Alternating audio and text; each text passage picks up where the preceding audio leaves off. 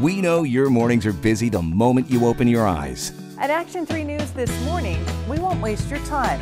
Breaking news up to the minute the minute you wake up. Weather happening right now and a forecast to help you plan your entire day. Plus, traffic reports with the most accurate travel times so you get there on time. It's the best way to start your day every day.